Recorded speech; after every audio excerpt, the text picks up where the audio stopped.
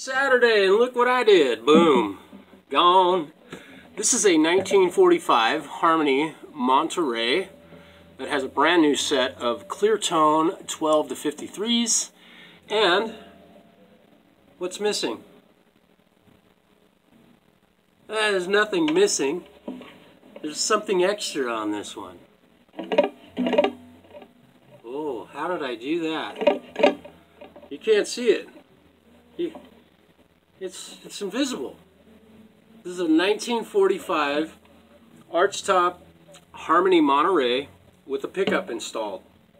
Now, someone commented on a video that I posted about where I placed the pickup and how it wouldn't work very well. Um, well, I beg to differ.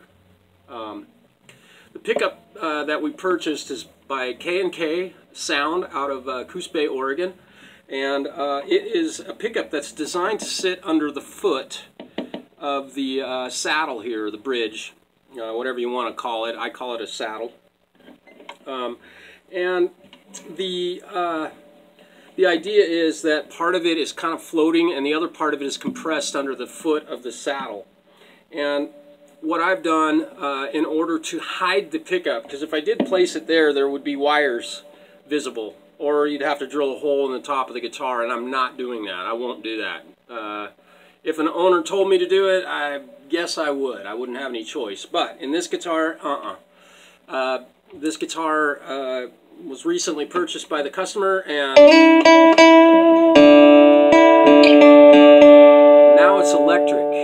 And uh, the K&K pickup that we put in here, um, they offer to sell it with a preamp, which is a great idea. The pickup is not terribly hot. It's not a real loud pickup. So what I've done is I've run it through uh, a boost pedal down here on the floor to amplify that signal going into the little toy amplifier, the SP10 that I played through.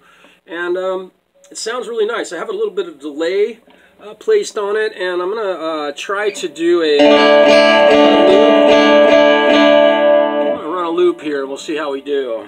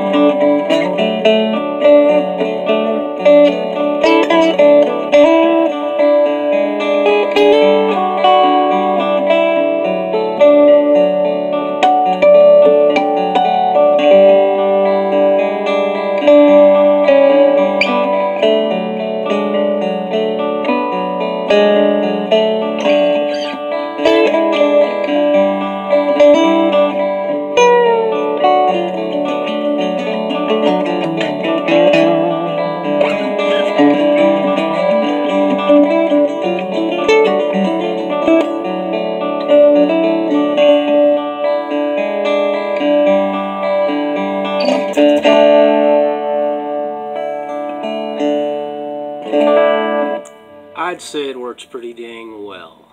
Um, really fun work.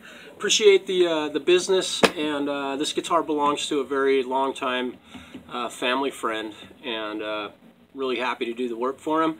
Uh, now he gets to hear what it sounds like, and you get to hear what it sounds like, and you will likely see this guitar out and about gigging playing heavy metal, whatever. I hope you all have a wonderful day. It's crazy days downtown La Grande. We got bands playing out in the street and awesome cars. And uh, I get to do some more work on a guitar today. I got a Gibson Gospel that I get to uh, pull some clamps off of and check the neck. Peace, y'all. Have a great day.